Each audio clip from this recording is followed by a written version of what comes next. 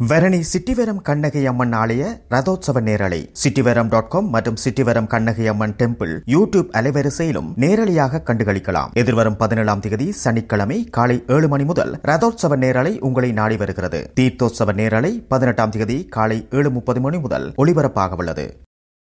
எங்களுடைய வெளி விவகார அமைச்சர் அலி சப்ரி அவர்கள் தமிழ் மக்களை நோக்கி ஒரு ஒரு ஒரு கோரிக்கையை முன்வை முன்வைத்திருக்கின்றார். அவர் முக்கியமாக சொல்லுகின்ற விடயம் என்னவென்றால் புலம்பெயர் தமிழ் மக்களினுடைய நிகழ்ச்சி நிரலை நீங்கள் ஏற்றுக்கொள்ள வேண்டாம். அவர்கள் ஒரு வித்தியாசமான நிகழ்ச்சி நிரலை கொண்டிருக்கிறார் என்ற மாதிரியும். ஆகவே தமிழ் மக்கள் அவற்றுக்குள் போய் மா அதுக்கு மாய்ந்து போய் மீண்டும் தமிழீழம் என்ற கோரிக்கையை முன்வைத்து அவ்வாறான நிலைமைகளுக்கு அவர்கள் போகக்கூடாது என்ற பாணியிலான ஒரு கருத்தை அவர் வெளியிட்டிருக்கின்றார். அலி சப்ரி அவர்களுக்கு நாங்கள் சொல்லக்கூடிய விஷயம் இதுதான் முதலாவது நீங்கள் இன்றும் சிங்கள பௌத்த அந்த பேரினவாதம் என்பதை கட்டவிழ்த்து விடக்கூடிய ஒரு அரசாங்கத்திற்காக சர்வதேச ரீதியாக வக்காலத்து வாங்குகின்ற ஒரு ஆளாகத்தான் இன்று நீங்கள் இருக்கின்றீர்கள். இந்த நாட்டில் முஸ்லிம் மக்கள் வகை தொகை இல்லாமல் அவர்கள் மீது உங்களுடைய சட்டங்கள் அனாவசியமாக பாய்கிறது.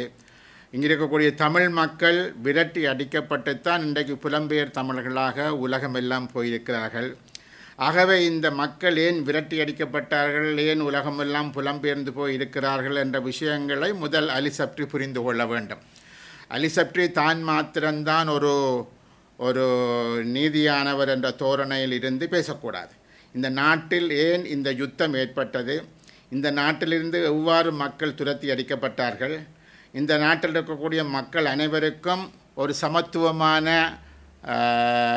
சமத்துவமான அதிகாரங்கள் சமத்துவமான நீதிகள் இருக்கிறதா என்பதையெல்லாம் அலி சப்ரி அவர்கள் புரிந்து கொள்ள வேண்டும்.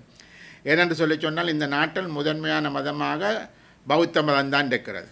அது மாத்திரமல்லாமல் அந்த பௌத்தத்தை வடகு கிழக்கு எங்கும் அது முஸ்லீம் மக்கள் வாழும் பிரதேசமாக இருக்கலாம் தமிழ் மக்கள் வாழும் பிரதேசமாக இருக்கலாம் அங்கெல்லாம் இதை இந்த பௌத்த சிங்கள பௌத்த அந்த மேன்மையை நிலைநிறுத்துவதற்கான பல முயற்சிகளை இலங்கை அரசாங்கம் மேற்கொண்டு வருகிறது என்பதையும் அலி சப்ரி அவர்கள் புரிந்து கொள்ள வேண்டும். ஆகவே இந்த இந்த இந்த வெளி வெளிநாட்டில் வாழக்கூடிய புலம்பெயர் மக்களுக்கு ஏதோ வித்தியாசமான நிகழ்ச்சி நெல் என்று கூறக்கூடிய அலிசப்ரி அவர்கள் ஒன்றை முதல் செய்ய வேண்டும். இந்த நாட்டில் வாழக்கூடிய தமிழ் மக்கள் தமது கோரிக்கைகளுக்காக பல வருஷங்களாக போராடி வருகின்றார்கள். அது மாத்திரமல்லாமல் வெளிநாடுகளுக்கு அல்லி சற்று பல்வேறுபட்ட உறுதிமொழிகளை வழங்கி வருகிறார்.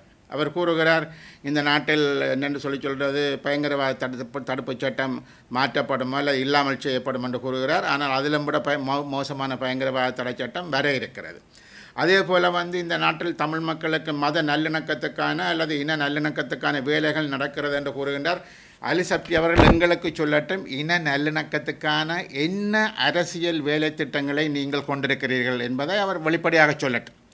ஆகவே அவர் வெளிநாடுகளுக்கு பேசுவது என்பது ஒன்று அவர் உள்நாட்டில் இருக்கக்கூடிய இந்த சங்கல பௌத்த சிங்கள பௌத்த மேலாதிக்கத்தை பாதுகாப்பதற்காகத்தான் சர்வதேச ரீதியாக அவர் பேசுகிறாரே தவிர இந்த நாட்டில் இருக்கக்கூடிய அனைத்து மக்களுக்குமான ஒரு சமத்துவத்தை ஒரு நீதியை நிலைநாட்டுவதற்காக அவர் பேசுகிறார் என்றால் நிச்சயமாக இல்லை.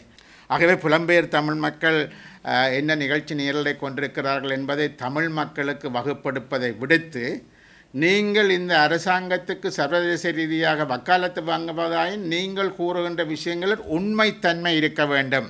சர்வதேச ரீதியாக அந்த உண்மைத்தன்மைகளை நீங்கள் வெளிப்படுத்துகிறீர்களான்னு நீங்களே உங்களை கேட்டுக்கொள்ளுங்கள்.